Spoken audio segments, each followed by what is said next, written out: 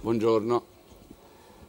Allora ragazzi, oggi si conferma la tradizione, come ormai da anni, di concludere il corso, comunque suggellare da termine del corso con la presenza di un notissimo studioso. E, e tocca a me, per i capelli bianchi, sempre presentarlo, quindi avere l'imbarazzo di doverlo presentare, ma una, la presentazione di colleghi che, eh, che hanno una caratteristica, hanno una fama che li precede. E allora io posso dire soltanto molto poco, perché comunque sarà riduttivo. Solo, solo per, uso, al mio ricordo, non nemmeno per gli studenti, il professor Vandelli è uno studioso di diritto amministrativo, ma soprattutto è uno dei più attenti studiosi del diritto delle autonomie locali, sia italiane che straniere. Ha un numero ha prodotto moltissime pubblicazioni sia sull'ordinamento italiano quanto sull'ordinamento straniero, ha, ricevuto moltissimi premi, è membro di moltissimi comitati scientifici, ha avuto incarichi anche politici perché allo, allo studio delle autonomie locali ha anche associato, penso, un minimo di passione politica che gli ha consentito di sopportare di essere titolare di cariche amministrative, di assessore alla regione, di assessore al comune di Bologna e quindi evidentemente la passione, la passione per lo studio era tale da tollerare anche di bere comunque dei bicchieri certe volte amari quando si svolge attività amministrativa. Non conosco le vicende della sua attività, ma, le, ma possiamo intuirlo tutti. Oggi eh, da profondo studioso ci offrirà una lezione di diritto amministrativo e di diritto pubblico con un approccio del tutto singolare, ma che singolare non è. Io vi abbiamo già anticipato, io almeno i miei studenti, i miei pochi studenti, ma penso anche il professor Cortese, ha anticipato a grandi linee il tema della, della lezione magistralis. E vi voglio subito far riflettere su una, un qualcosa, che questo approccio che può essere singolare, letteratura e amministrazione, poi adesso ne sentiremo i contenuti, è ovviamente il frutto non di valutazioni estemporanee o di studi approssimativi, ma di profondi studi che hanno condotto il professor Vandelli anche a pubblicare una monografia sul tema, oltre che vari saggi. Ma eh, questo approccio non è un approccio poi tal, tanto singolare, perché non dimenticatevi, io questo lo dico sempre ai miei studenti, ma lo dirà pure il professor Costesi, quando si parla di diritto, e non solo di diritto amministrativo o di amministrazione, il diritto non è soltanto quel qualcosa che si a, a cui, al quale ci si approccia come un meccanico che, con, che anziché avere i cacciavite e la pinza ha i criteri ermeneutici da utilizzare.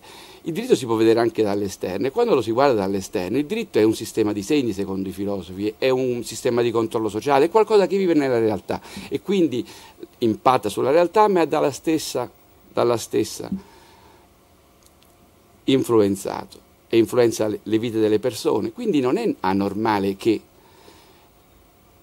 il diritto o parte di esso possa essere stato rispecchiato in studi artistici, in studi letterari. I letterati hanno subito l'influenza del diritto e dell'amministrazione, ma i letterati hanno anche scattato delle istantanee dell'amministrazione, della burocrazia e soprattutto nel scattare queste istantanee hanno colto elementi delle profonde e repentine modificazioni che negli ultimi anni, negli ultimi 100 anni, 150 anni, l'apparato burocratico che vive prepotentemente nelle nostre realtà di diritto, lo Stato di diritto e del diritto, di diritto amministrativo hanno determinato. Per cui adesso io completo, ho completato la mia presentazione dei miei pochi minuti e cedo subito la parola al professor Vandelli che, sì, che, che, ringrazio sin d'ora. Un'altra precisazione organizzativa, due precisazioni organizzative. La prima, non è a fianco a me il professor Cortese, ne siete accorti tutti, ha avuto un, un impegno improvviso, rassicuro i suoi studenti, domani concluderà il corso, lui personalmente. La seconda cosa, possiamo far così come si fa normalmente a lezione, Iniziamo con la prima frazione di tre quarti d'ora e poi facciamo un intervallo e riprenderemo successivamente. Prego. Perfetto. Grazie molto Damiano, grazie ai colleghi trentini per l'invito, molto gradito perché era un po' che non tornavo a Trento e eh, ritorno molto volentieri per fare un discorso un po' atipico, come vi ha anticipato. Eh, in questo periodo sto occupandomi, come sempre, di riforme amministrative, semplificazione, autonomie, però ho preferito provare a darvi una prospettiva diversa, guardare alle istituzioni e all'amministrazione nella sua consistenza storica, nel suo ruolo sociale, nella trasformazione che ha comportato particolarmente negli ultimi due secoli, seguendo testimoni particolarissimi, testimoni molto autorevoli, ma che sono normalmente considerati tali, prestigiosi, notissimi, come vedrete, lasciando a lato il fatto che la gran parte di essi lavorava in pubblici uffici. E lavorando in pubblici uffici ci hanno dato una testimonianza puntuale, preziosa, talora addirittura maniacale, della nascita, della vita quotidiana, degli apparati amministrativi, dell'impatto che ebbero nella grande trasformazione a partire dall'inizio dell'Ottocento e io seguirò particolarmente i difetti della pubblica amministrazione che loro già evidenziano con grande chiarezza. Eh, questi testimoni, per capirci, si chiamano Stendhal, Henry Bale, uditore al Consiglio di Stato prima, poi eh, in una lunga carriera console, finirà console a Civitavecchia. Maupassant, modestissimo impiegato al Ministero della Marina, poi passato al Ministero dell'Istruzione. Eh, di Maupassant vi accenno soltanto a una delle sue note di qualifiche, coscienzioso ma non sa scrivere, eh, che era probabilmente un'annotazione vera, nel senso che scriveva in un modo che alla burocrazia piaceva poco, diciamo. Eh, eh, tutti hanno delle particolari attitudini verso il pubblico impiego. Eh, Stendhal è ossessionato dall'idea di andare in pensione, vorrebbe fare lo scrittore, ma vuole andare in pensione, quindi continua a stare nella eh, orrida Civitavecchia, orrida perché all'epoca c'era la malaria, era la, la, la terra di nessuno, non c'era niente, lui era un amante dell'arte, un fantasioso, gli toccava di stare in, quelle, in quei luoghi, ma voleva la pensione. Eh, ci spostiamo. Pushkin. Pushkin è al Ministero degli Esteri. Eh, Pushkin è un pubblico impiegato impresentabile, grande spadaccino, grande cavaliere, pratica tutti gli sport, tutte le donne possibili, eh, bordelli e sale da gioco, eh, fino a quando lo zar lo licenzia, lo licenzia in realtà non per motivi di ufficio, ma perché ha un rapporto con la moglie del superiore gerarchico che non è proprio la cosa più indicata. Eh, però poi il Lozar lo riassume più tardi.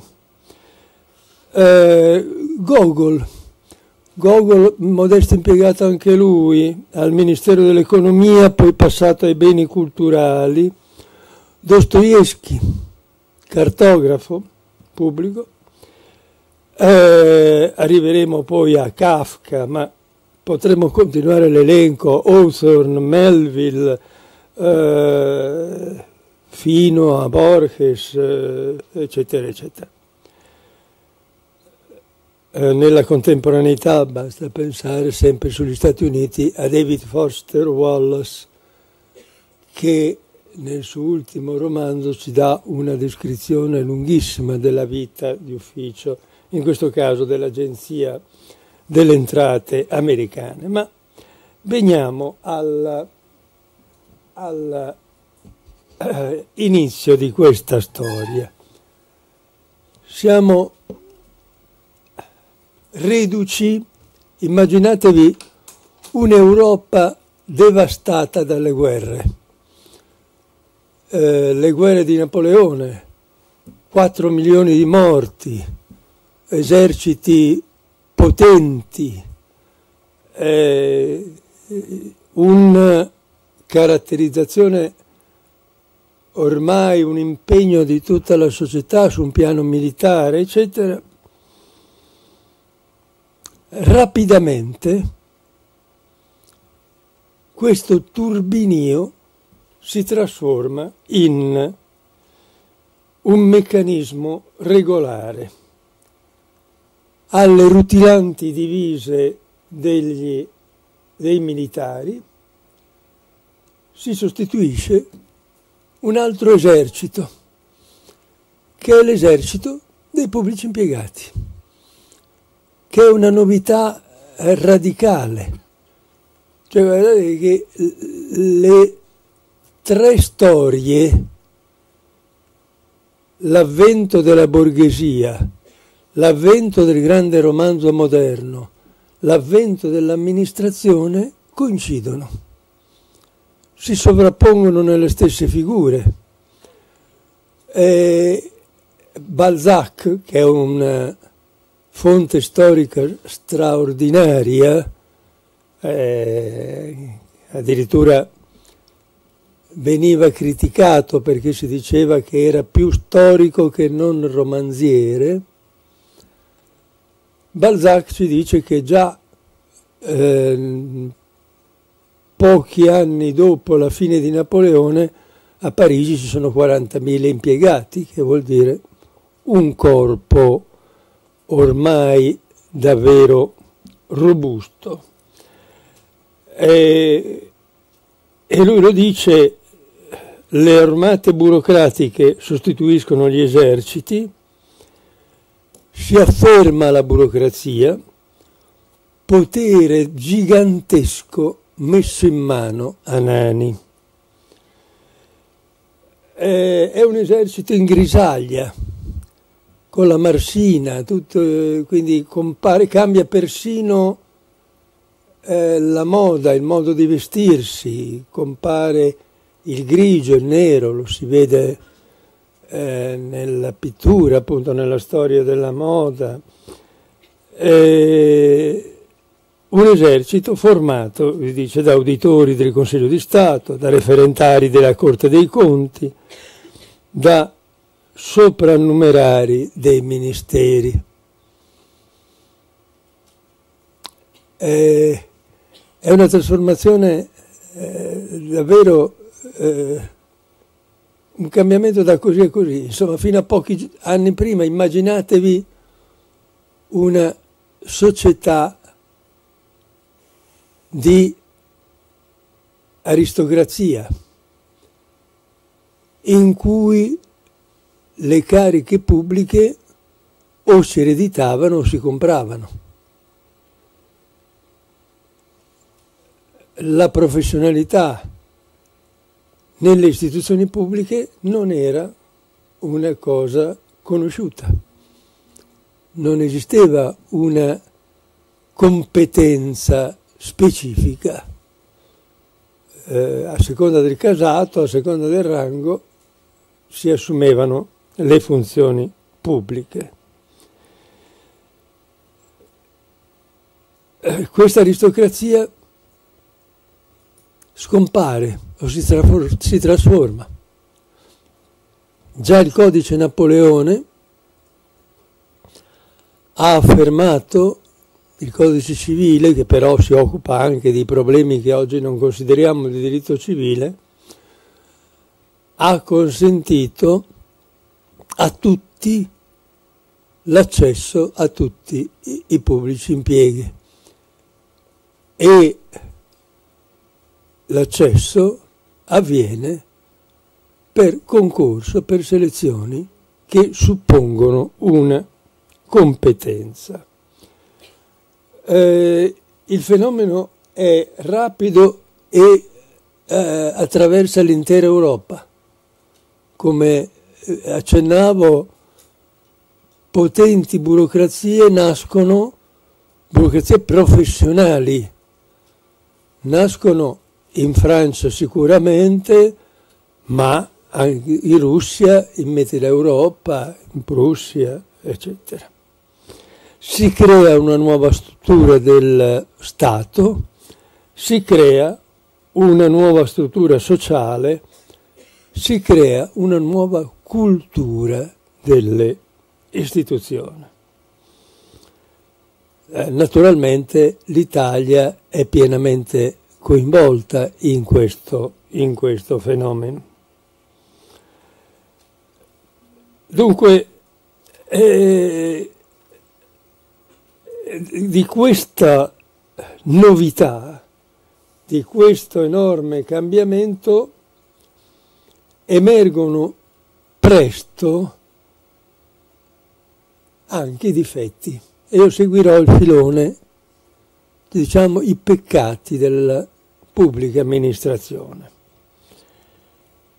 E ne dà una descrizione puntualissima, partiamo dal primo dei, dei, dei difetti, la mediocrità, il servilismo, l'incapacità di valorizzare le competenze e il merito. Eh, notate che questa è già una novità in sé perché prima eh, non si pensava particolarmente che eh, il nobile che aveva ereditato la carica dovesse avere una competenza. Adesso ci si aspetta una competenza e si rimprovera ai funzionari pubblici se non ce l'hanno. Eh, di questo servilismo, di questo eh, eh, inchinarsi di fronte al potere politico, ci dà qualche cognizione molto eh, precisa Balzac particolarmente nella eh, come sapete dunque, l'opera di Balzac è sterminata, sono 90, 97 non mi ricordo, eh, romanzi che finiscono tutti nella Comédie humaine, tra questi ce n'è uno che si chiama Gli impiegati. Gli impiegati eh, viene pubblicato, vi pensate, eh, eh, come feuilleton, cioè eh, sarebbe come una serie oggi. Ogni settimana la gente aspetta l'uscita della puntata per vedere cosa è successo ai vari personaggi.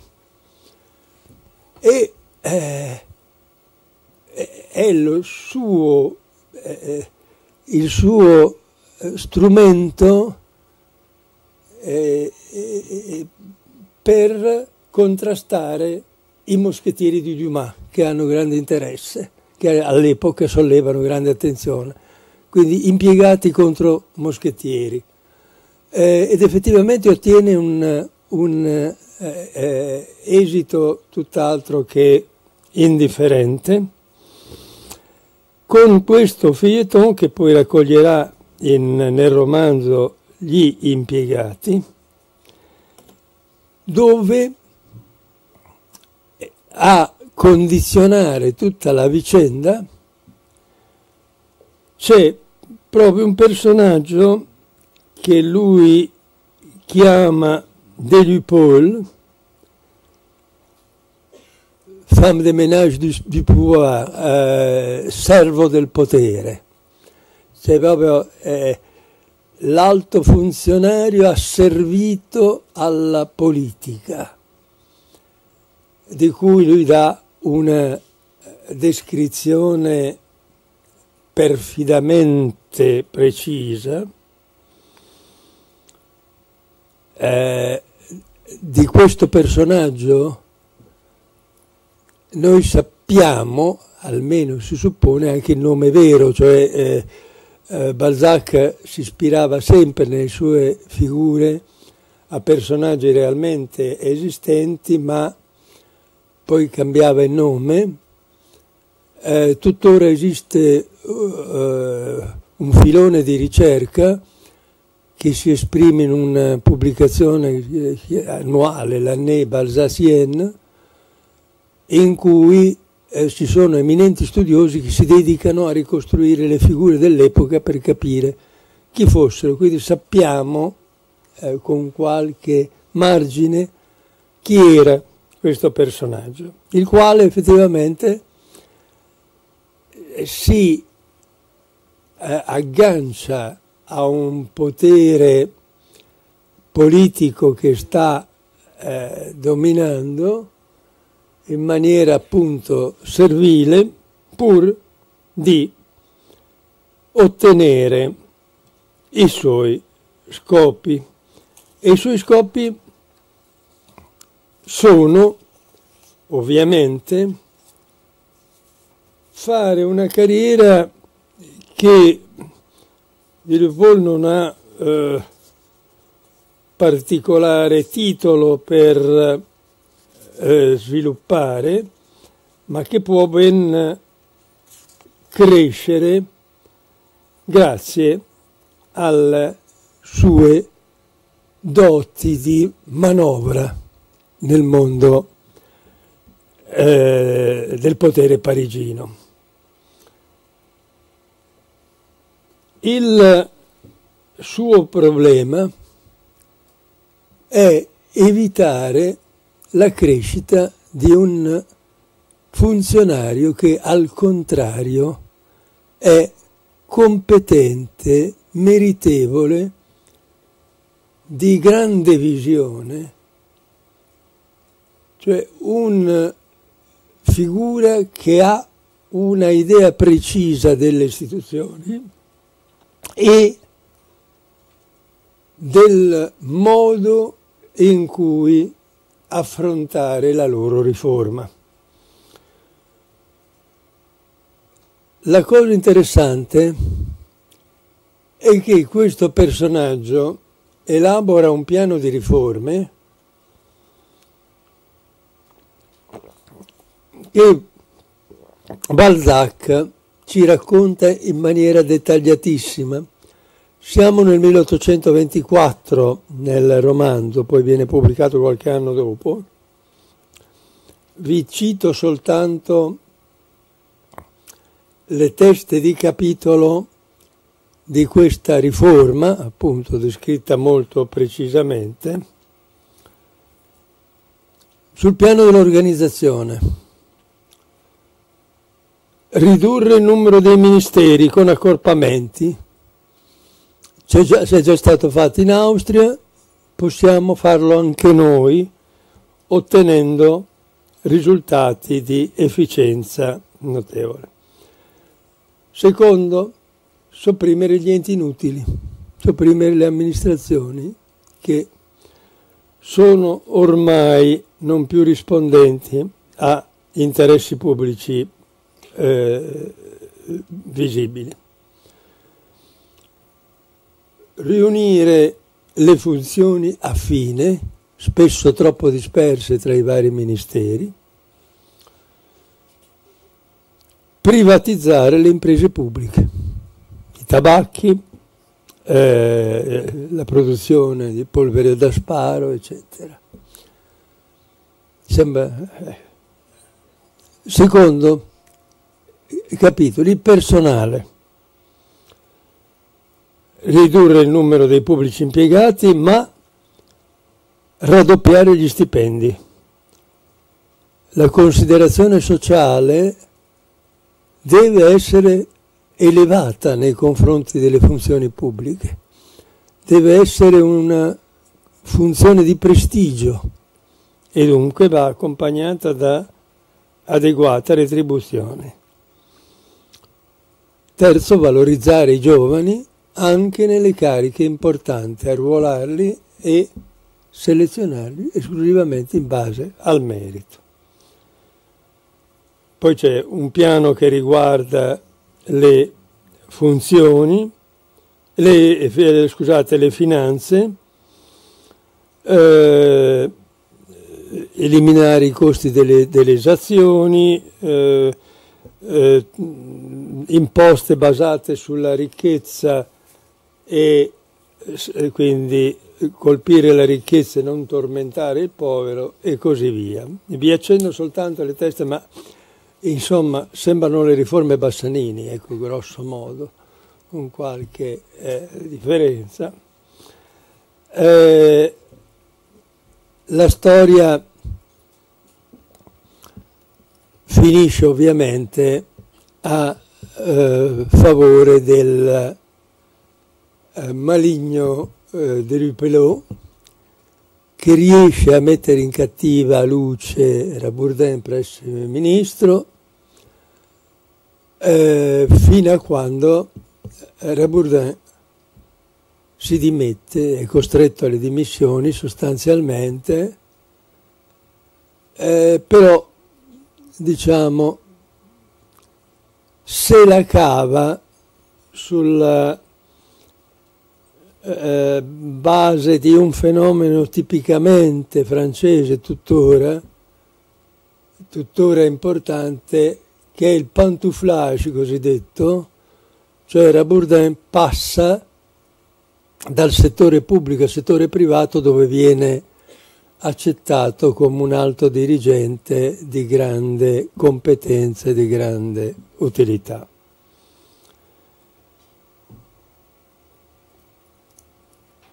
Secondo difetto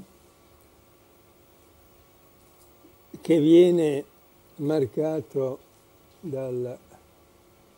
Questo, eh, scusate, questi erano i vari personaggi, quindi Stendhal, eh, i personaggi che vi citavo prima, eh, come vedete li ho affiancati a qualche opera significativa e scrivendo sotto il ministero a cui apparteneva. Tra l'altro è curioso perché eh, qual è la reazione del scrittore, quindi del, eh, di colui che è abituato a usare la fantasia nella sua narrazione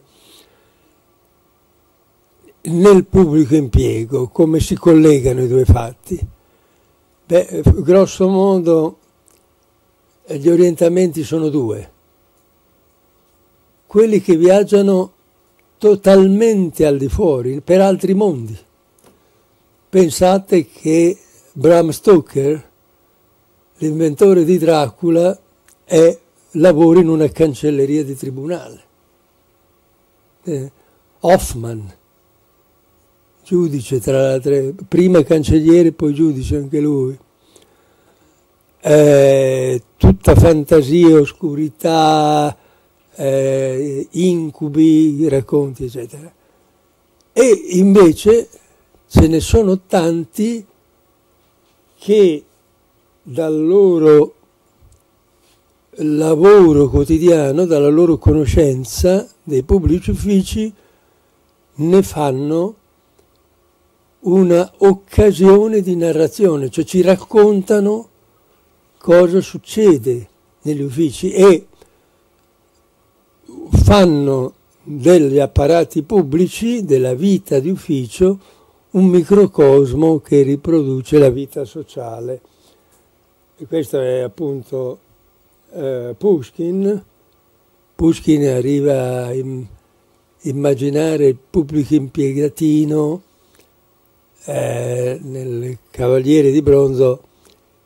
Eh, c'è questo pubblico impiegato che ha l'incubo del grande costruttore dell'amministrazione russa che è Pietro il Grande, che nel suo monumento di bronzo lo insegue col cavallo, eh, appunto creandogli degli incubi notturni che non, che, da cui non si, non si libera. Eh, questo è, è, Gogol, il cappotto.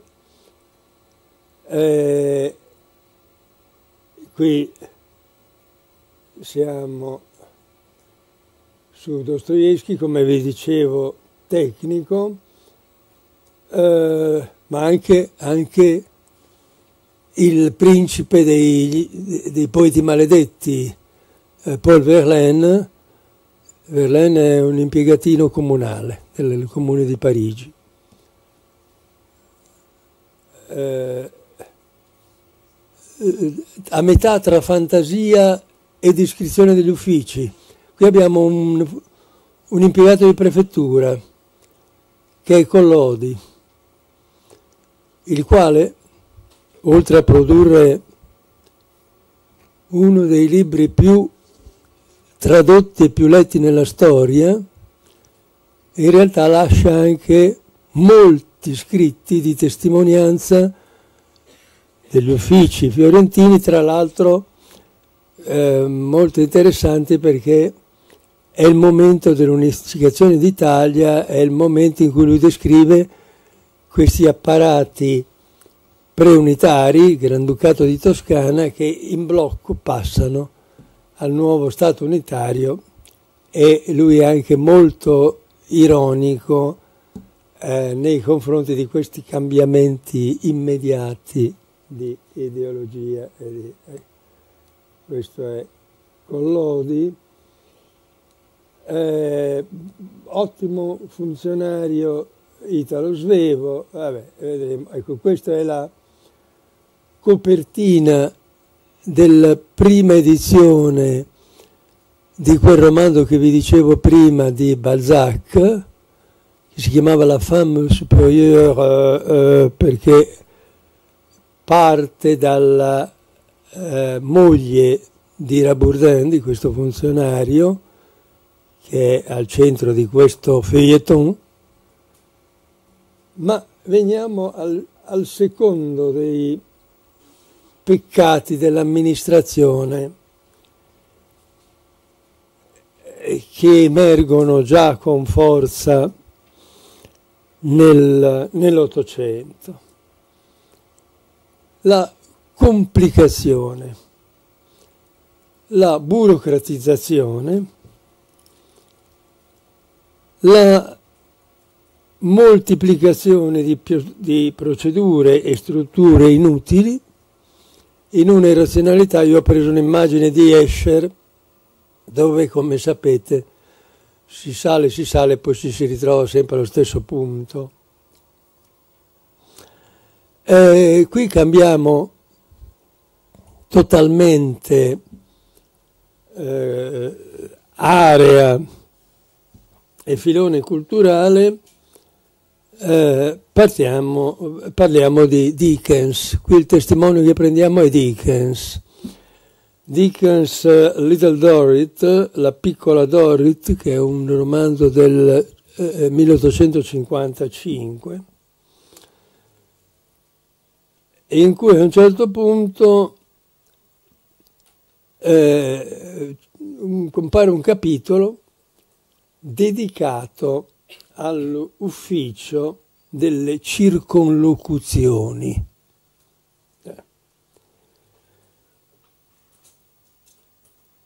Qualunque cosa ci fosse da fare, dice Dickens, l'ufficio era alla testa di tutti gli altri per scovare il modo di non farla. Lo scopo è non fare, quindi è, è, è tutta una procedura. La procedura rimanda sempre, eh, quindi eh, eh, diciamo l'amministrato viene ricevuto, gli viene spiegato qual è il, eh, il procedimento che deve seguire per arrivare alla fase successiva. La fase successiva prevede un nuovo procedimento e eh, si va avanti all'infinito. Eh, su questo piano poi le complicazioni e circonlocuzioni, vabbè, un maestro è Kutlin, eh, e, e, insomma eh, eh, cito soltanto un altro che è molto eh, suggestivo Orwell 1984 scusate eh, Orwell la fattoria degli animali piuttosto. Eh, dunque nella fattoria degli animali detta in due parole che è una metafora eh, sulla rivoluzione, gli animali cacciano, eh, i fattori cacciano eh, gli uomini della fattoria e prendono il governo della fattoria stessa e naturalmente si dividono i ruoli i cavalli fanno i lavori pesanti, i cani eh, fanno la polizia, il ruolo di polizia, eccetera. Poi ci sono i maiali, i quali gestiscono l'amministrazione della fattoria. In realtà nessuno degli altri animali sa cosa fanno, però eh, è un compito molto misterioso e importante che dà ad essi autorevolezza e potere.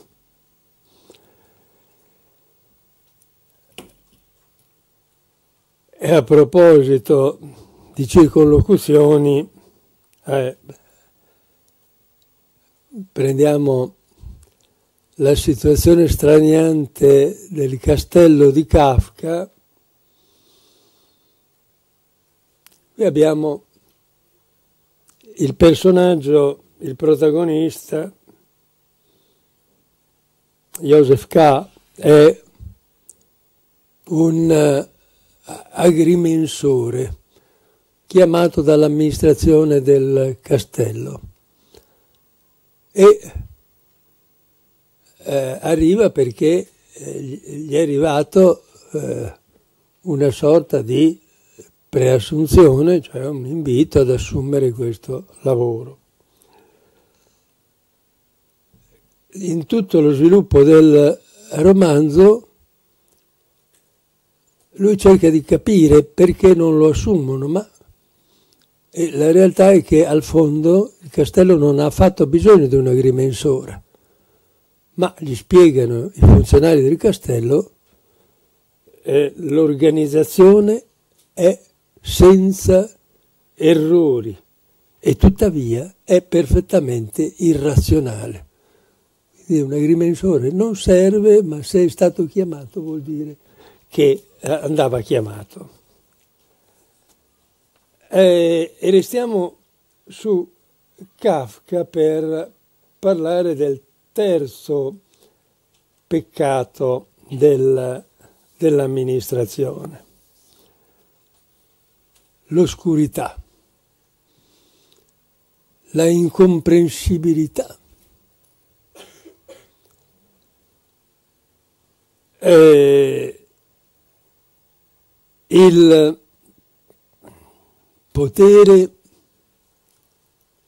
non comprensibile,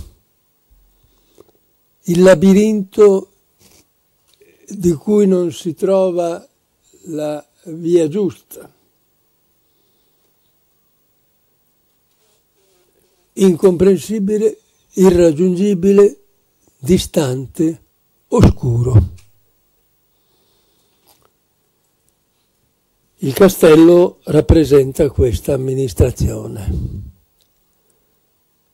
È un'amministrazione misteriosa, c'è una complessissima piramide, c'è il castello, poi sotto c'è il villaggio, eh, nel villaggio si vedono gli, gli, ausiliari, qualche ausiliari, subalterni, gli uscieri, insomma i livelli più bassi. Ma poi, man mano che si sale nella scala gerarchica, i funzionari diventano inaccessibili, fino al capo sezione clam, che è diventato un mito perché si dice che esista, ma in realtà nessuno l'ha mai visto, è là nel castello. Eh, alcuni narrano di averlo visto per qualche istante, ma eh, istante bisogna basarsi su testimonianze, su te- dicerie. Eh,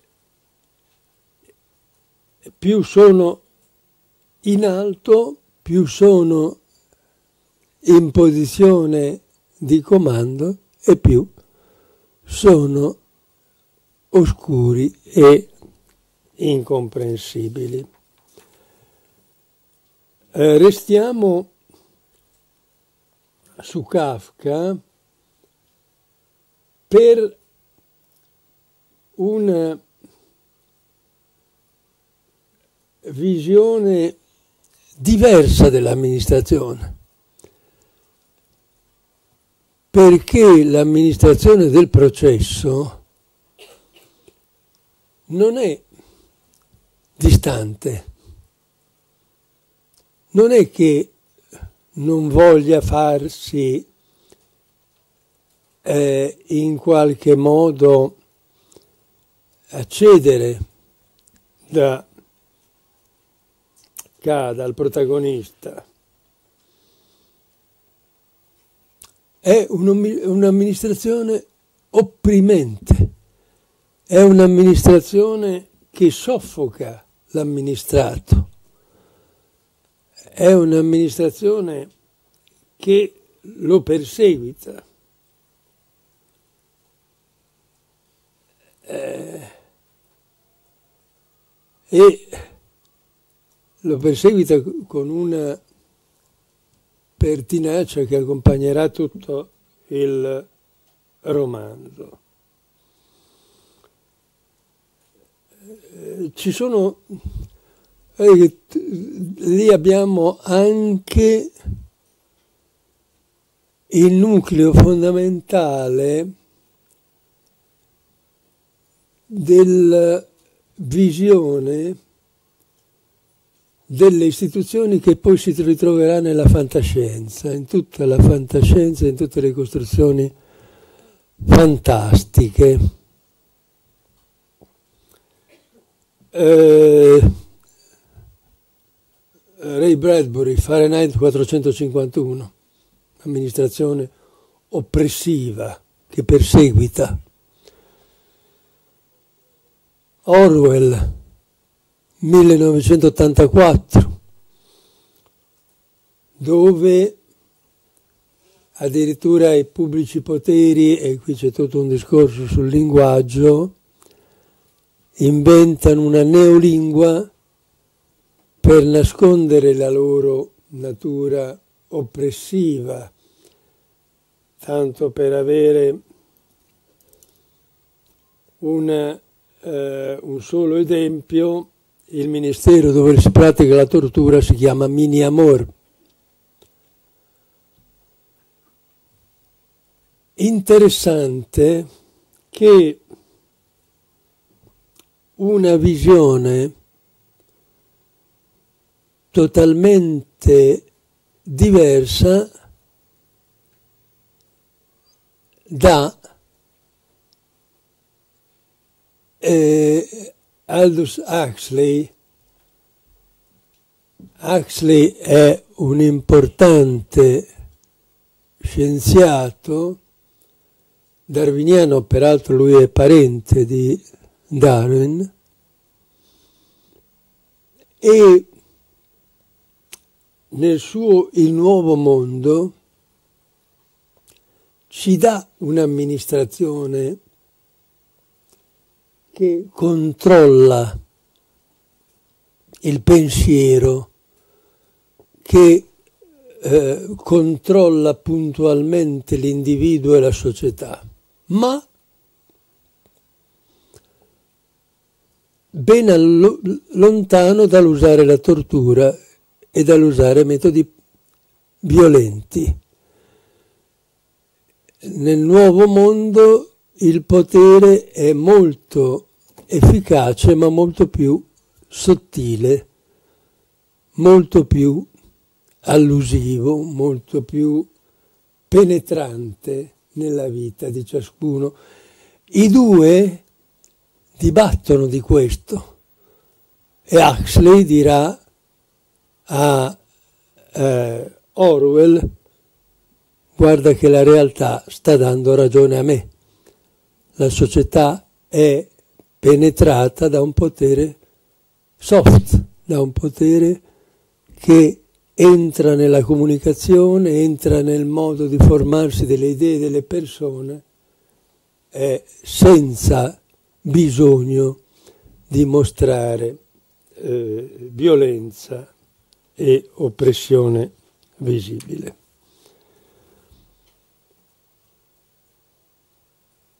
Quinto peccato, questa è la copertina di 1984,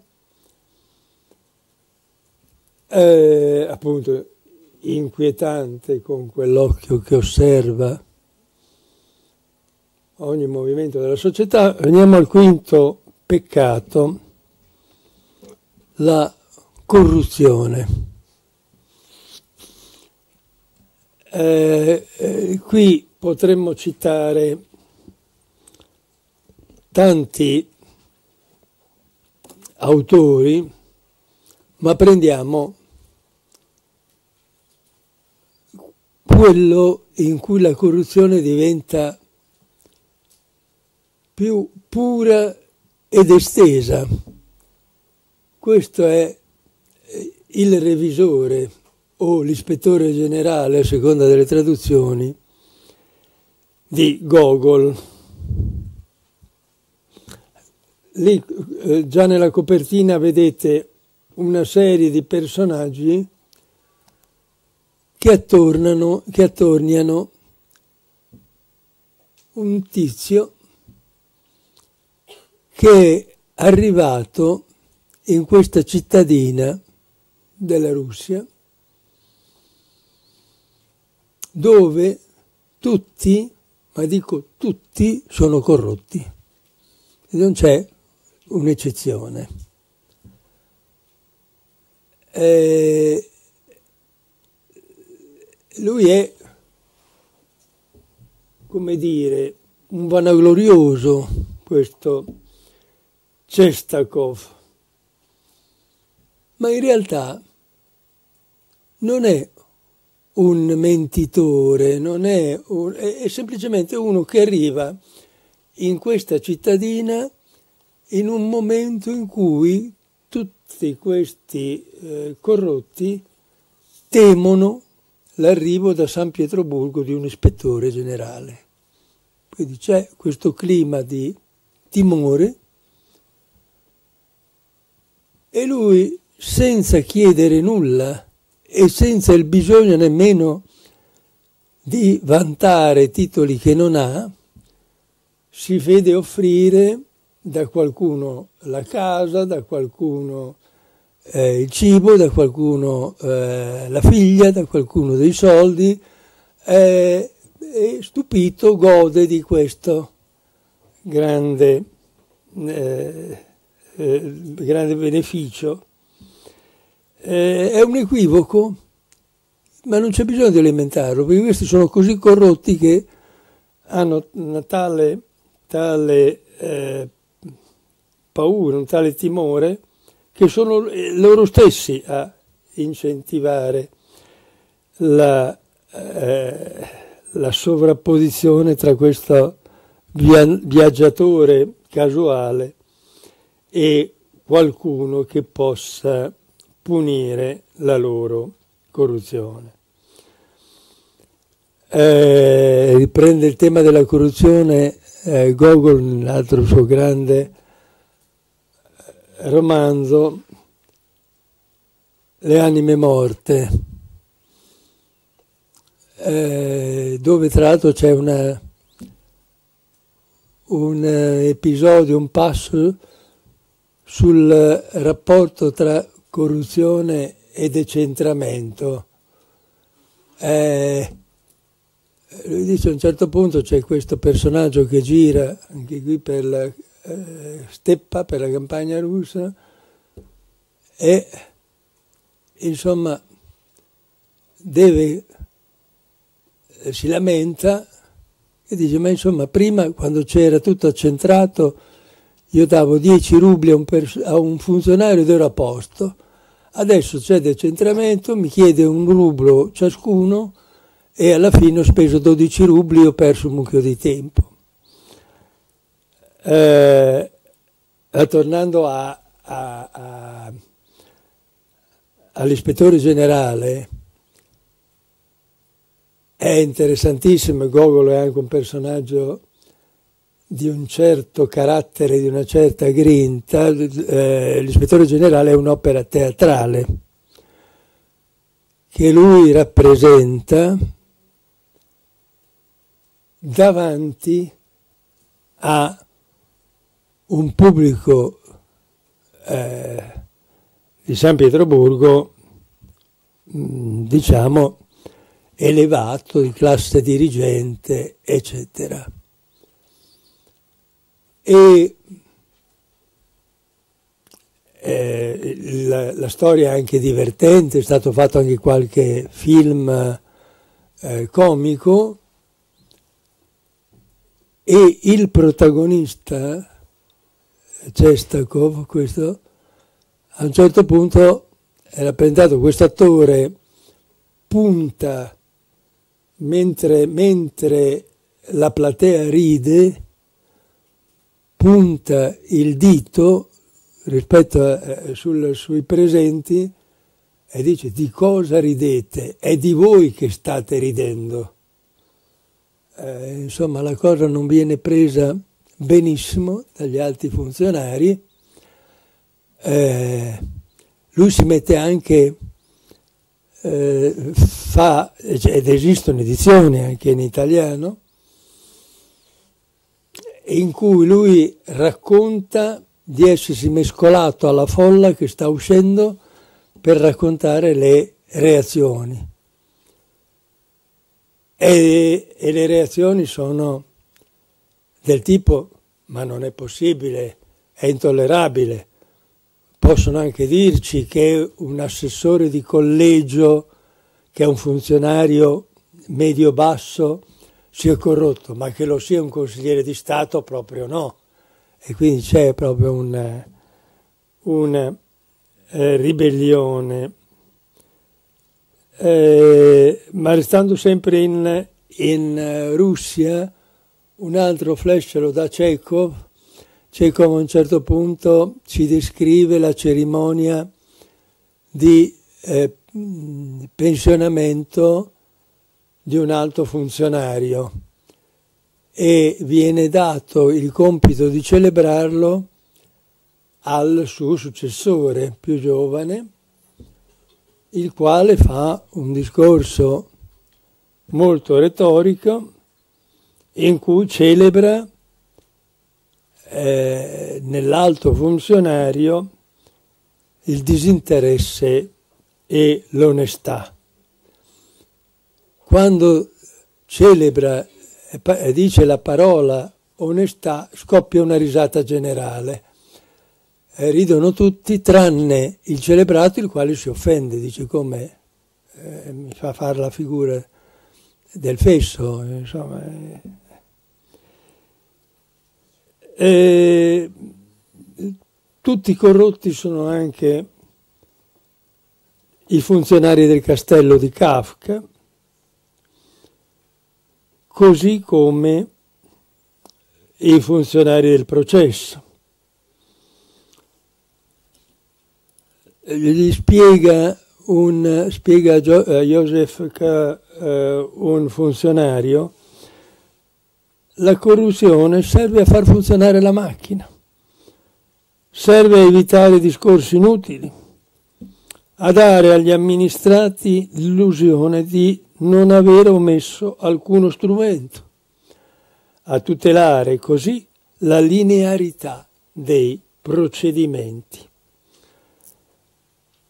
Ma è assodato che in qualunque modo non si può raggiungere nulla. È il, il tema ripreso in uno dei racconti più belli di Kafka, davanti alla legge, eh, davvero fascinoso, suggestivo,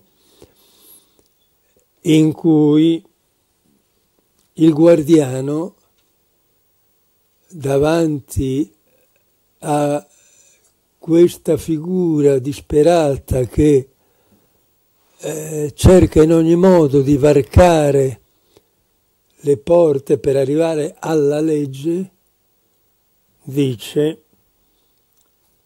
accetto il tuo denaro, ma lo accetto non perché serva a nulla, lo accetto semplicemente perché tu non ritenga di aver trascurato alcunché. La corruzione che non, serve, non, non mi dilungo, ma eh, mi pare davvero particolarmente eh, significativo. Notate, ho individuato eh, cinque peccati, cinque problemi enormi della pubblica amministrazione. Eh, devo interrompermi? Non è che devi scegli perché possiamo puoi anche continuare. No, non, non voglio sfiancarvi, quindi fare... facciamo la pausa e poi riprendo facendo qualche osservazione sulla situazione attuale. Perché... Magari qualche mm. pregio se c'è. Eh? Magari qualche pregio. Ah, ci arrivo. ci arrivo. No, eh, sì, Vi posso chiedere una cortesia? Potete chiudere quella porta in alto alla mia destra, alla vostra sinistra? Grazie. E adesso vediamo se il professor Mandelli riesce anche a indicarci qualche virtù, però eh, ci sono tante cose che si possono dire. E comunque sin d'ora la mia massima ammirazione per tutto quello che stai riuscendo con tanta chiarezza a, a illustrare. E spero che solleciti tanta attenzione e soprattutto tanto interesse e curiosità per chi finora ha seguito due noiosi professori che spiegano tanto le regole, i contenuti delle regole, le strutture in astratto, ma questo è il mondo che quelle regole dovrebbe governare. Prego. Eh, cerco di, di, essere sintetico perché vorrei sentire qualche vostra curiosità.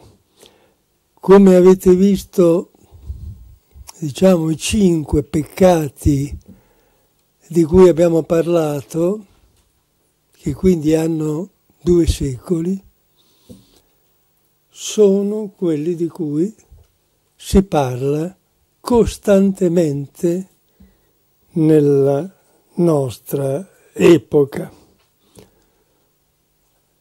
I rapporti tra politica e amministrazione, tema irrisolto che troverebbe nell'articolo 97 della Costituzione il suo punto di riferimento,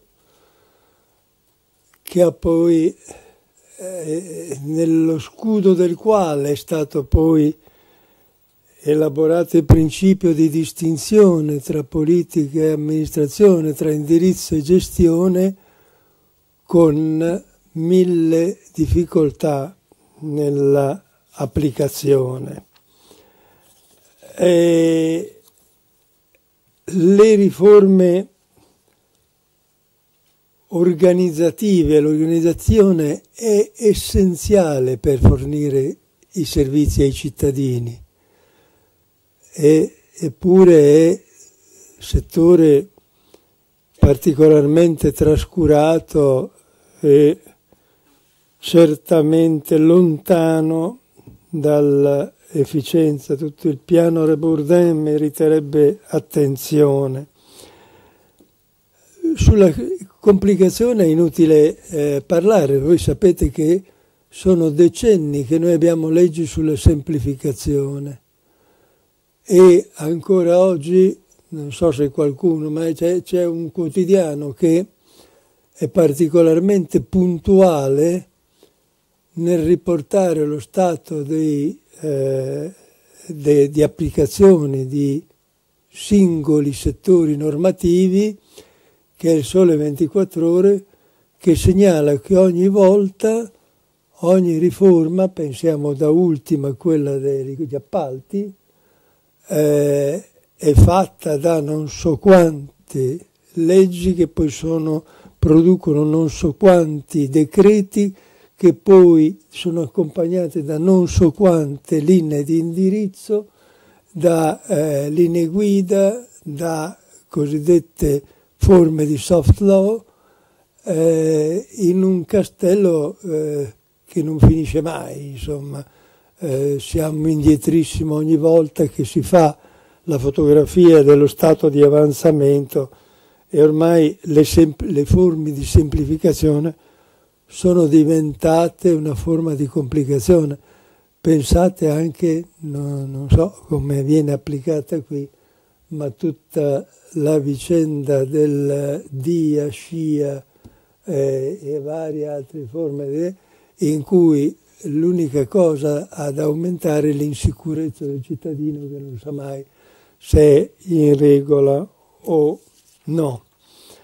Eh, l'oscurità del potere il potere eh, inconoscibile, il potere senza volto, il potere lontano. Qui la 241 ha provato a introdurre la figura del responsabile del procedimento, cui tra l'altro è dedicato un convegno tra pochi giorni, eh, ma eh, ancora si fa molta fatica. Qui qualche passo avanti l'abbiamo fatto, ma certamente i procedimenti si, si presentano spesso all'occhio, all'occhio, del cittadino come eh, labirinti complessi. Eh, l'amministrazione opprimente, soffocante, l'amministrazione che in qualche modo eh, lede i diritti e gli interessi dei cittadini.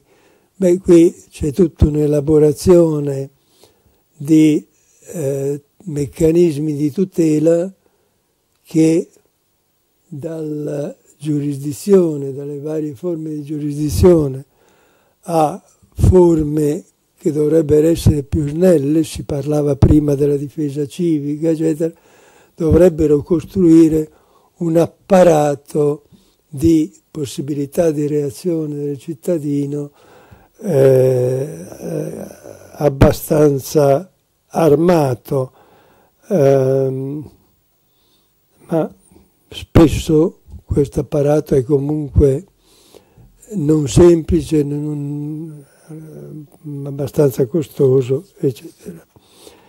Sulla corruzione, vabbè, le leggi anticorruzione sono ormai all'ordine del giorno, eh, abbiamo un'autorità specifica, l'ANAC, abbiamo regole internazionali, europee e nazionali e un sistema complesso che dovrebbe penetrare in ogni amministrazione con il responsabile anticorruzione, eh, le notizie che ogni giorno vediamo non sono incoraggianti. Si rischia di aumentare la burocrazia senza ottenere il risultato sostanziale. Ma eh, vediamo invece, torno ai grandi della letteratura e vediamo una figura positiva, che però ci dice anche molto sul ruolo della, della pubblica amministrazione. Franz Kafka, ne ho già parlato più volte, ma scusatemi, è davvero un gigante, un gigante eh, tra l'altro di particolarissima attualità. Eh, Kafka è un funzionario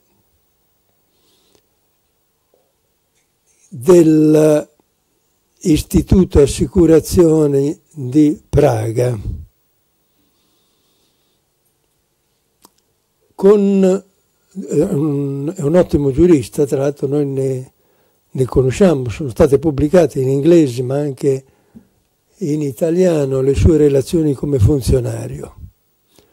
Lui eh, inizia un'attività nuova nel momento in cui possiamo dire nasce lo Stato sociale.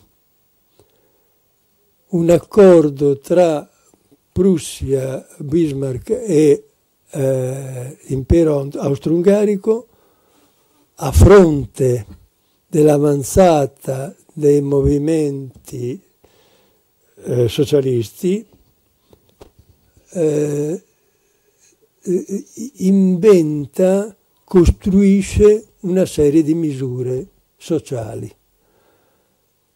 Tra queste misure c'è l'obbligo per la prima volta delle imprese di assicurare i lavoratori.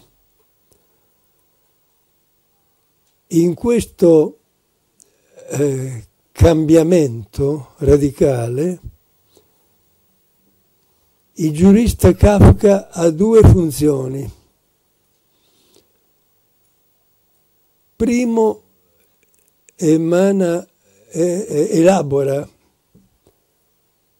pareri, argomenti giuridici per contrastare le tesi di quelle industrie, settori di industria che non vogliono applicare la tutela dei lavoratori. Quindi frequente è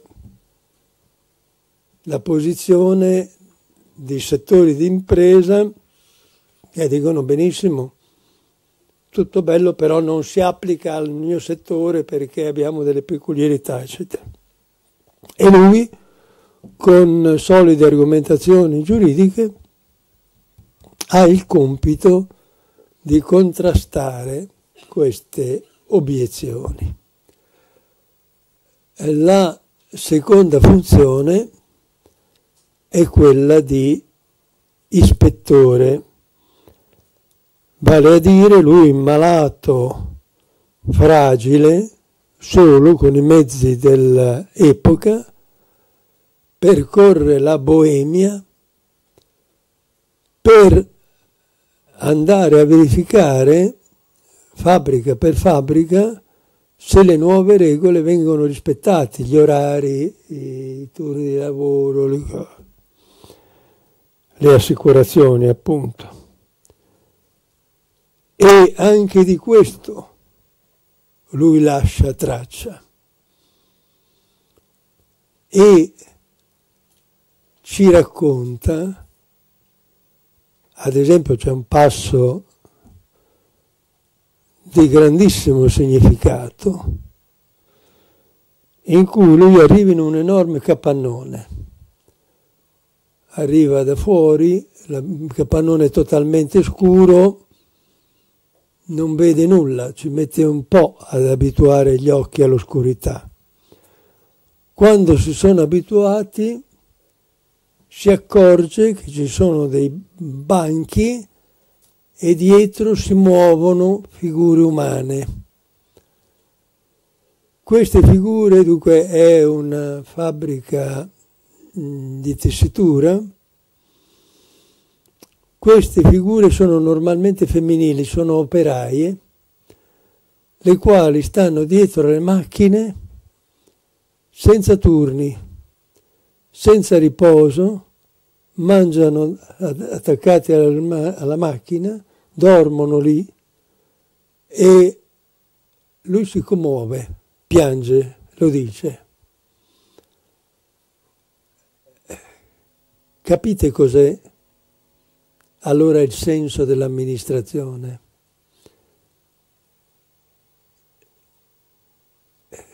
Senza amministrazione, senza istituzioni non ci sono diritti. I diritti sono garantiti da regole e da qualcuno che le applichi. E eh, questo segna davvero il grande passaggio eh, eh, pian piano nasce e si afferma in tutta Europa lo Stato sociale, lo Stato che cura e promuove i diritti dei cittadini. E allora vedete come il fenomeno amministrazione diventa complesso.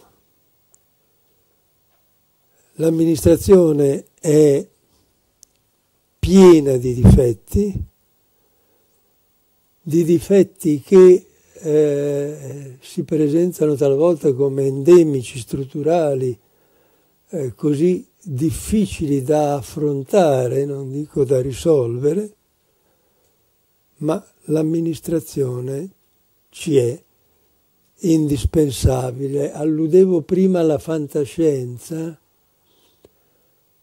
eh, e ai numerosi autori che vedono un futuro con un'amministrazione oppressiva o insidiosa, condizionante, ma c'è un altro scenario che ci presenta ad esempio il mondo della saga di Alien. In Alien semplicemente non ci sono le istituzioni. Tutto è governato dagli interessi delle companies eh, disponibilissime a mettere a repentaglio la stessa esistenza dell'umanità, perché l'alieno, come sapete, ha una capacità distruttiva eh, pressoché incontrollabile, ma importare l'alieno ha un valore economico enorme e tutta la saga è condizionata da questa. Non c'è solo un'amministrazione che ha dei pericoli, c'è un pericolo di non avere un'amministrazione. Mi fermo qui.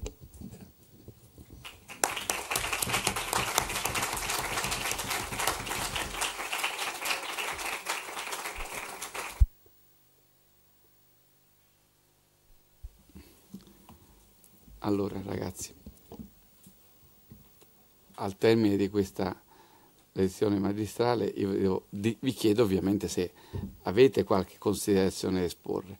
Siete due aule quest'anno, da quello che so, da quello che ho visto, sperimentato, non proprio molto reattive, però qualcuno di voi potrebbe dinanzi a questa pure un po' innovativa, questo innovativo discorso e comunque più reale, più concreto, proporre qualche considerazione personale e anche proporre una domanda.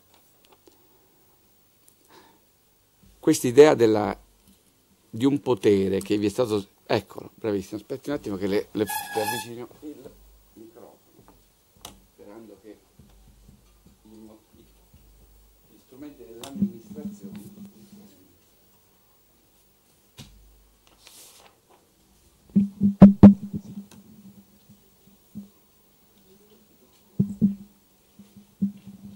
Allora, rifacendomi al, um, alla parte in cui lei ha citato alcune saghe della fantascienza, io le volevo chiedere, secondo lei è possibile che l'amministrazione in un futuro sia plasmata non dagli alieni ma dalle macchine, come invece uh, succede nei libri per esempio di Isaac Asimov, dove sono i robot a prendere il controllo e quindi a modificare a creare possibili danni come anche possibili uh, miglioramenti? Il tema è essenziale e non è affatto fantascientifico, nel senso che è un problema che si sta già ponendo e non nel termine del robot che eh, configura, pare umana. Il, il tema è processi decisionali e algoritmi. Voi sapete che ormai molte decisioni, molti processi nelle imprese, nella globalizzazione, ma anche pubblici, sono fidati ad algoritmi. Ora, i tecnici ci spiegano, guardate che gli algoritmi attuali e sempre più in futuro sono ormai attrezzati per non applicare semplicemente i criteri che voi mettete nel computer, ma li elaborano, autoelaborano. Quindi, e allora qui noi abbiamo un problema proprio nella definizione dei diritti molto pronunciato. Il problema è che ad esempio in Francia si è posto in termini espliciti. Nei nostri termini eh, noi dovremmo sempre avere la garanzia che la decisione sia assunta da volontà che siano riconducibili agli organi eh, politici o amministrativi che hanno la responsabilità. Per capirci, un conto è se io devo distribuire un beneficio, un beneficio ad anziani, un beneficio a disabili, un beneficio a giovani, se ho un organo responsabile che fissa i criteri, tot punti allo stato economico, tot punti alla condizione eh, fisica, alla patologia, tot punti all'età. E poi ho un algoritmo che meccanicamente mi applica quei criteri, quindi mi dà la lista e mi mette in fila l'anziano Tizio, l'anziano Caio, e un conto è e questo è il rischio che si sta ponendo se l'algoritmo eh, eh, adegua, come si dice, i criteri alla sua esperienza. Questo è un punto delicatissimo, ripeto, si sta già eh, ponendo e quindi mh, il tema che la fantascienza ci propone in termini, diciamo, immaginifici, richiede una grandissima attenzione che nel nostro caso dobbiamo proprio applicare rispetto alle responsabilità della politica e alle responsabilità della dirigenza. Eh, l'algoritmo, a mio avviso, deve rimanere uno strumento totalmente controllabile da parte di questi due livelli. Ma il tema è, è, di fondo.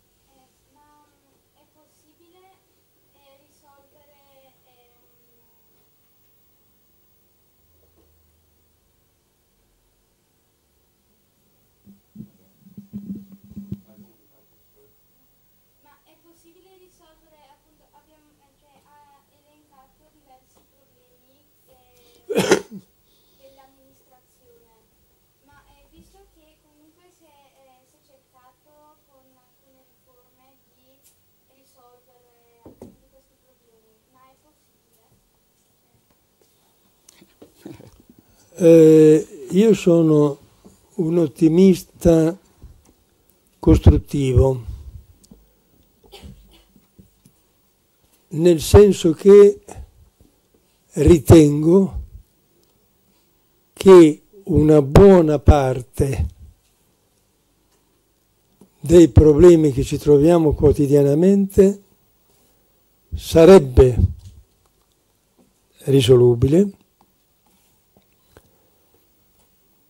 se davvero si volesse affrontare con gli strumenti giusti. E gli strumenti, a mio avviso, sono molto chiari e vanno in contrasto con una diciamo, cultura diffusa che secondo me costituisce a monte il massimo impedimento per affrontare questi problemi. Vi cito soltanto eh, due temi uno, quello che gli americani chiamano il short termism, le politiche a breve termine. E questi problemi non si risolvono sul breve termine. Non si risolvono se non c'è una capacità di guardare a un futuro lontano e di coerentemente in questo lasso di tempo, non breve, si eh, mantiene una coerenza negli obiettivi fissati. Tutte le nostre riforme, guardate qui non faccio discorsi gli uni o gli altri, eccetera, sono state viziate dal fatto che il giorno dopo si cambiava idea, eh, si eh, tornava al precedente, si contestavano, si cambiavano, eh, non lo so se eh, poteva funzionare il titolo quinto. Beh, eh, io vi dico semplicemente una cosa che titolo quinto non è mai stato attuato. Titolo quinto presupponeva la fissazione dei livelli essenziali, è stata fatta solo nella sanità, su tutto il resto no. Il titolo quinto presupponeva i principi fondamentali delle materie concorrenti, invece abbiamo fatto miriadi di leggi, leggini, vincoli, vincoletti e così via. E il titolo quinto presupponeva una cornice finanziaria che è mancata totalmente. quindi ma funzionava, tutto è colpa sua, non lo so, non, non l'abbiamo sperimentato. Se il giorno dopo facciamo il contrario, state sicuri che le riforme non funzionano. La stessa cosa la legge del Rio, dimenticata, abbandonata, ma. Eh, il secondo aspetto, strettamente collegato, è le riforme non si fanno, non si affrontano per capirci con i tweet. Non è così, non funziona così. Non basta lanciare uno slogan per cambiare niente. Non cambia niente. Forse attirerai l'attenzione dei mezzi di comunicazione per quel giorno, ma non pensare minimamente di cambiare il funzionamento dell'amministrazione se non con un'attenta applicazione, attuazione. Eh, le nostre riforme hanno dei buchi. Di, eh, se io faccio una riforma, devo immediatamente capire e dire con quali risorse, con quali risorse finanziarie, con quali risorse umane, quali competenze. È inutile che io faccia le città metropolitane se contemporaneamente dimezzo quello che prima avevano le province e non le doto di funzioni adeguate e di apparati adeguati. È inutile che io faccia la riforma degli appalti se non do alle stazioni appaltanti le competenze, gli ingegneri, i eh, giuristi esperti in questa materia che siano in grado di gestirle. Questo eh, a quanto pare interessa molto poco ma è a mio avviso lì che si giocherebbe la partita. Qualche altra sollecitazione? Beh, prego. Io volevo porle una domanda, volevo chiederle quanto le riforme oggi... Scusi, la sentono? Sentite? Alzi un po' la voce. Eh. Quanto le riforme, eh, le leggi oggi possano avere un'incidenza sulla società o ehm, in che misura poi diventino mezzo in mano al capitalismo? Volevo chiederle questo, se le leggi oggi disciplinano la società o sono solo un mezzo in mano al capitalismo ed è il capitalismo che effettivamente disciplina la società. Viviamo ancora nell'illusione che il Parlamento e le leggi possano disciplinarla. Eh, I poteri Avete sentito in fondo? Sì, beh. Dove sta il potere oggi?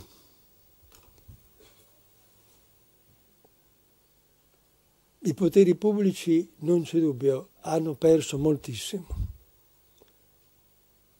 Hanno perso moltissimo per effetto di una globalizzazione non controllata.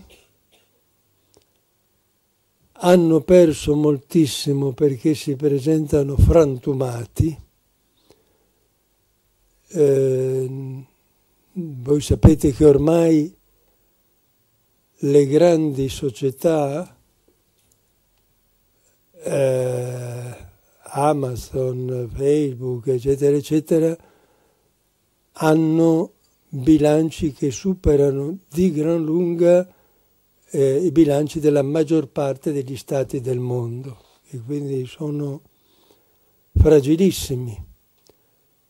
Quei pochi stati che eh, diciamo potrebbero contare sono peraltro totalmente divisi tra di loro con eh, politiche eh, proprio totalmente divaricate e ognuno eh, attento ai propri micro interessi. Allora qui eh, io vedo l'alternativa eh, in una costruzione di un potere pubblico di grandi dimensioni che riesca a intervenire con qualche autorevolezza in queste dinamiche. Naturalmente, in primo luogo penso all'Europa, che è veramente il vaso di coccio di un mondo che ormai è dominato da grandissime potenze private e pubbliche e in cui gli staterelli nostri, come i famosi polli di Renzo, non fanno altro che litigare tra di loro. Eh, quindi io credo che non ci siano alternative. Se vogliamo contare nel mondo, se vogliamo contribuire a fenomeni che altrimenti rischiano di sfuggire ad ogni controllo, bisogna che nasca qualche nuovo potere pubblico di livello continentale.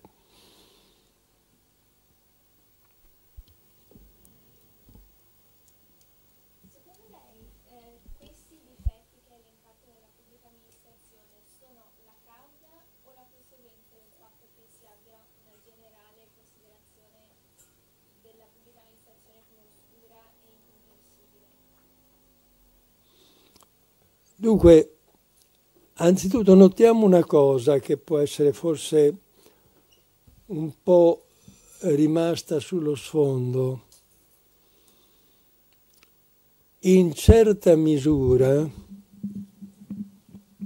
questi difetti appartengono a tutte le grandi organizzazioni,